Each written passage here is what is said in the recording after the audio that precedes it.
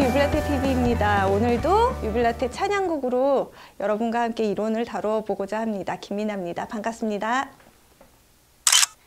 저는 작곡가면서 학생들을 가르치는 선생님입니다. 그런데 이 이론을 여러분한테 설명하고자 유빌라테 성가를 분석할 때마다 깜짝깜짝 놀라요. 왜 이렇게 좋은 곡이 많지? 왜 이렇게 곡을 잘 쓰는 선생님들이 많지? 어, 나는 어떻게 해야 되나? 그런데 오늘 역시도 너무 좋은 곡을 가지고 왔습니다. 사실 다 좋아요. 유빌라테 41권입니다.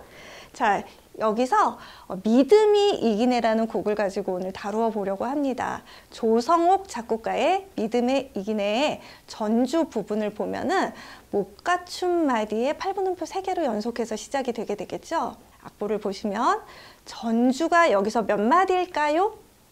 자, 지금 마디수를 막 세워보고 계신 분들이 있을 텐데 일곱 마디라고 대답을 하신 분도 있고 여섯 마디라고 대답을 하신 분들도 있습니다. 목가춤 마디라는 것을 오늘 한번 설명을 드리고 이야기를 할까 합니다. 초등학교 때, 중학교 때 음악 이론을 조금 힘들게 굉장히 단호한 선생님께 배우셨다면 목가춤 마디를 박자를 빼고 계산하는 것을 배우셨을 텐데요. 갖추지 못한 마디라는 것이 박자가 온전하게 차 있지 않다는 것입니다. 그래서 지금 이 믿음의 이기네는 4분의 4박자의 곡인데 어, 목가춤 마디에 보면 8분 음표 3개가 되어 있습니다. 그러면 4분 음표가 4개 있는 게 4분의 4박자니까 8분 음표가 8개가 있어야 되는 거죠. 5개의 8분 음표가 빠져 있기 때문에 못 갖춘 마디인 겁니다. 마디를 셀 때는 못 갖춘 마디는 마디수에 세지 않습니다. 그래서 지금 이 곡의 전주는 여섯 마디입니다. 가끔씩 몇 마디 보세요. 그러면 마디수가 없는 경우에는 이런 것 때문에 혼란이 오기도 하는데 못 갖춘 마디는 세지 않는다는 거 기억을 해주세요. 친절한 유빌라테에는 이렇게 숫자가 다 기입이 돼 있어서 정확하게 디렉을 하실 수가 있습니다. 믿음이 이기네 전주는 여섯 마디로 되어 있는데 여섯 마디짜리의 구조는 잘 보기 어려운 거잖아요. 그러면 이 조성욱 작곡가는 여기서 왜 여섯 마디를 만들었을까? 여러분에게 눈이 띵 하실 수 있는 장면이 중간에 4분의 2 박자가 한번 들어가 있습니다. 그리고 그 다음에 4분의 4로 바로 돌아오게 되어 있죠. 그래서 지금 이거는 화성 구조를 이해하시면 편하게 왜 작곡가가 그랬는지 보실 수 있는 장면인데요. 이 메이저 샵 4개짜리의 곡입니다. 오늘은 그래서 칠판을 한번 사용해 볼까 합니다. 자, 전주 부분을 보시게 되면은 샵이 4개짜리가 나와요. 먼저 높은 음자리표, 그 다음에 샵 기호는 옆으로 평행선으로 되는 게 아니라 약간 비스듬하게 그린다 그랬죠? 샵이 4개니까 파도, 솔, 레. 마지막 샵이 그조의 이끈음이 되고 그거보다 반음 올라가면 그조의 으뜸음이 됩니다. 파도, 솔, 레보다 하나 높은 거니까 미. 그래서 이 곡은 이 메이저의 곡이 됩니다. 조성과 조표가 약간 헷갈리시면 이전에 유빌레티 TV에서 강의했던 조와 조표 참고해 주시면 좋겠습니다. 위에 띠리리링 나오죠? 봐주시면 좋겠습니다. 다시 돌아와서 이 곡은 E 메이저 곡입니다. 화성 진행을 여러분이 다 아실 필요는 없는데 몇 개의 화음을 인지하고 계시면 곡을 진행하실 때 훨씬 어, 부드럽게 진행을 하실 수 있을 것 같아요. 지휘자 선생님들께서. 음, 저는 이 으뜸음으로부터 쌓여진 1도 화성을 왕이라고 표현을 합니다.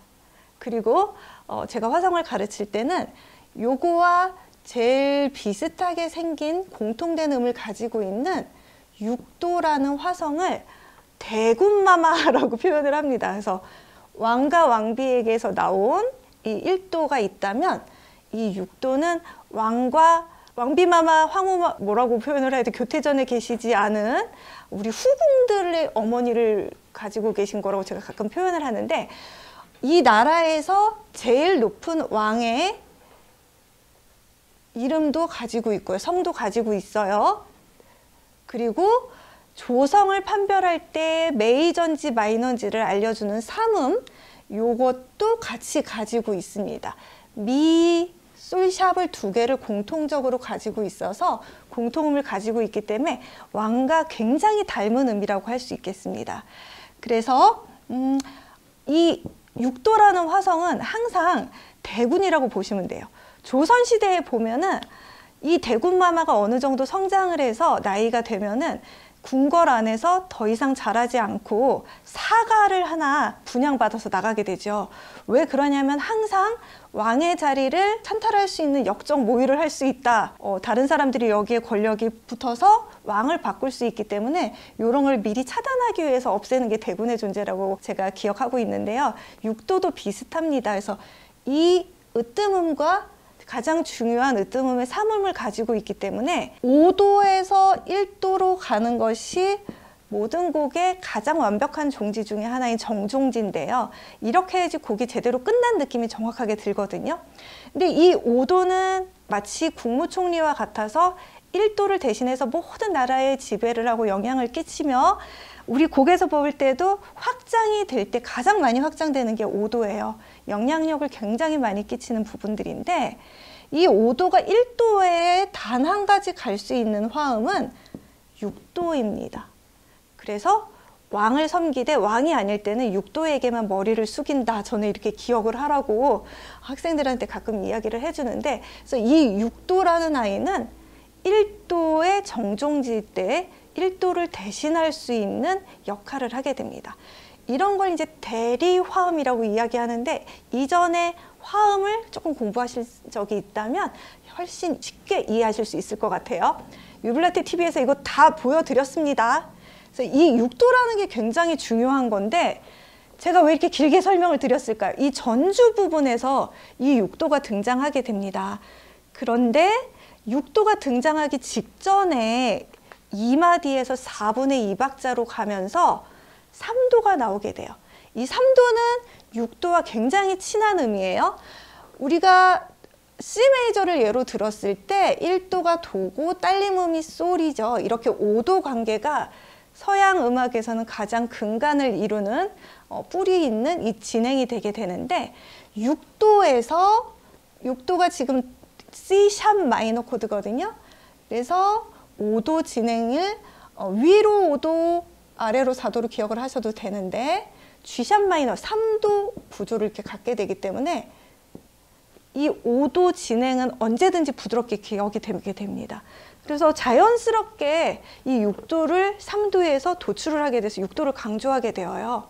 그러면 너무나 자연스러운 진행이 이어지게 되고요. 살짝 보게 되면 베이스 라인을 피아노에서 보면 E, F샵, G샵, 그 다음에 C샵으로 건너뛰게 돼요. 우리가 예상을 할 때는 미, 파, 솔, 라를 갔을 것 같잖아요.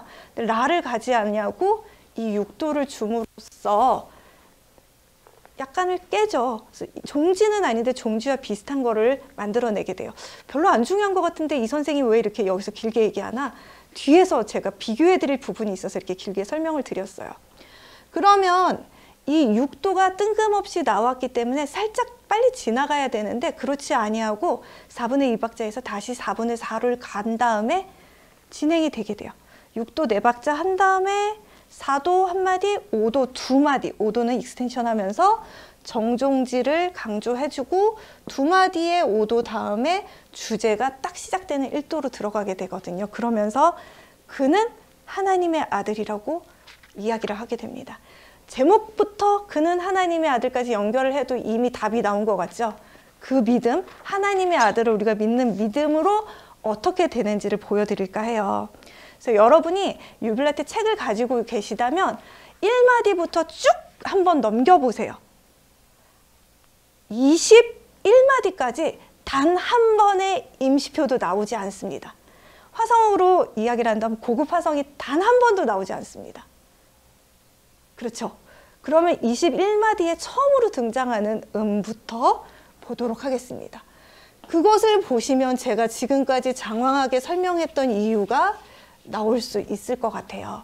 21마디에 어, 지금까지 가사를 풀어주면 그는 하나님의 아들이고 우리를 위해 오셨고 그러한 주 예수를 믿는 믿음을 가지고 우리가 온 세상을 이길 수 있다.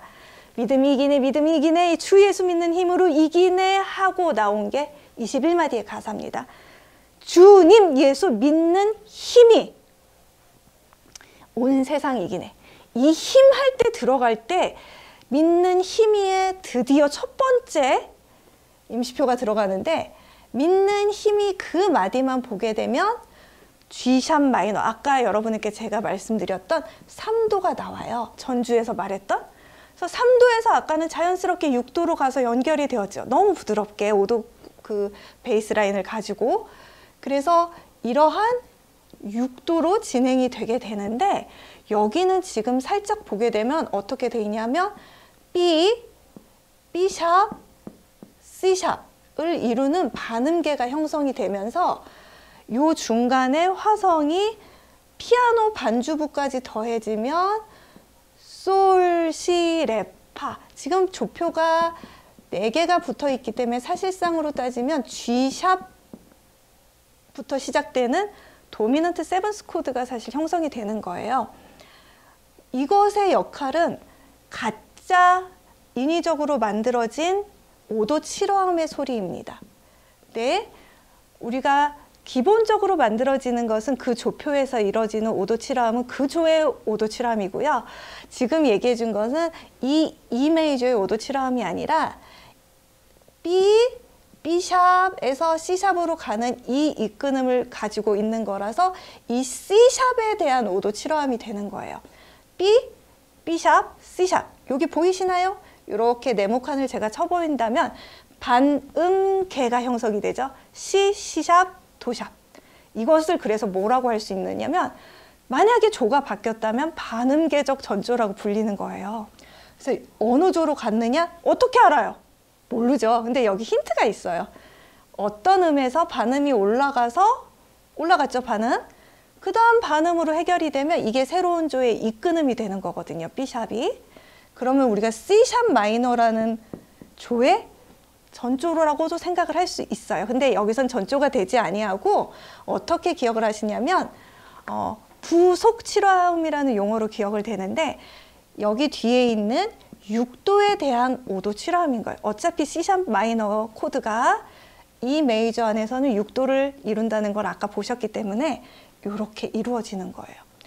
그러면 이 조성옥 작곡가가 주님 예수 믿는 힘 이것이 온 세상을 이긴다는 것을 강조하기 위해서 첫 번째 반응계를 사용했어요.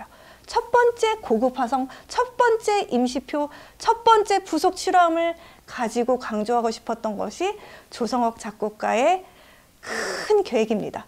그렇기 때문에 21마디가 나오기 전까지 단 한 번의 임시표를 사용하지 않았던 것이죠. 놀랍죠? 조성옥 작곡가님 대단하십니다.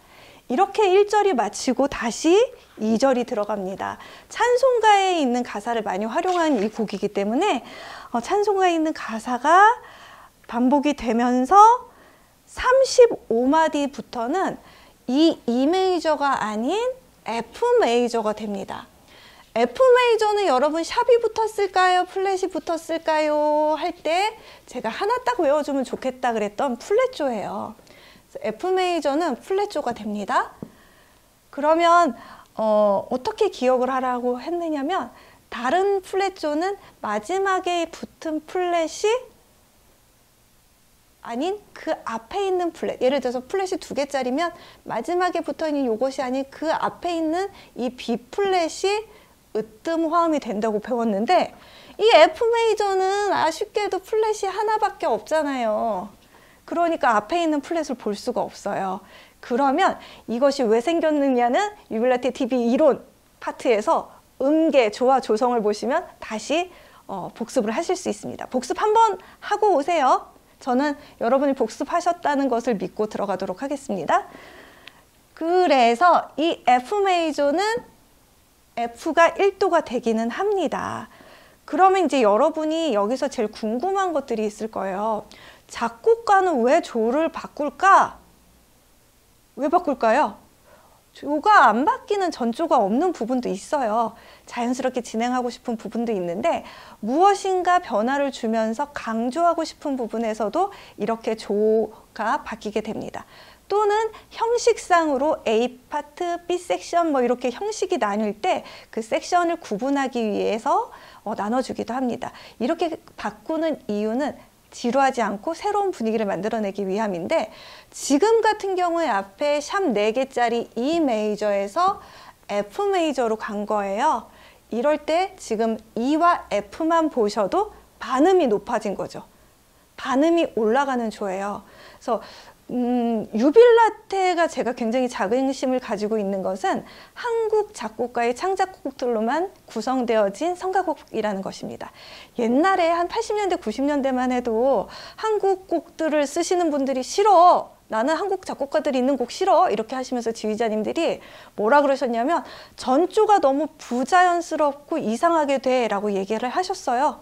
근데 유빌라테는 그런 게 없어요. 그래서 굉장히 자연스러운 진행인데 이러한 진행들을 유빌라테에서 많이 보실 수가 있어요. 반음이 올라가는 진행. 이거는 강조입니다. 분명한 강조입니다.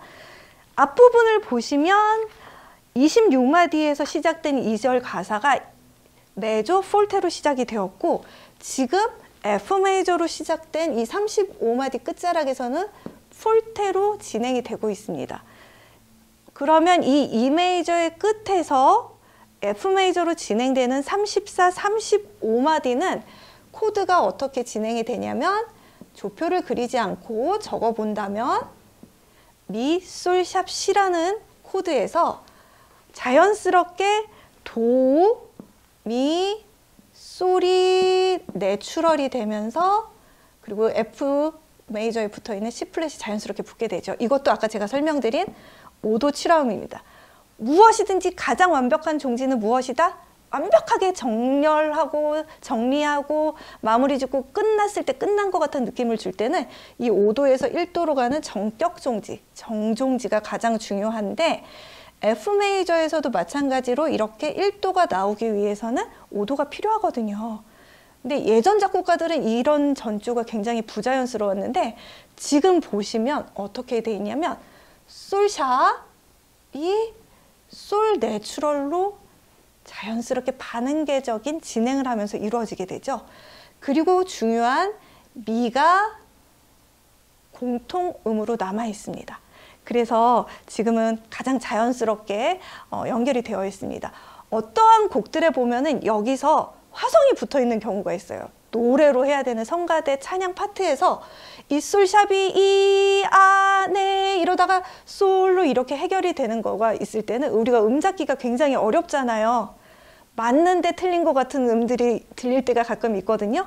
근데 지금 조성옥 작곡가는 여기서 정확하게 합창이 컷 해주고 그 다음에 한마디의 간주를 통해서 F 메이저의 정종지를 이루어진 다음에 어, 전조를 하고 있습니다.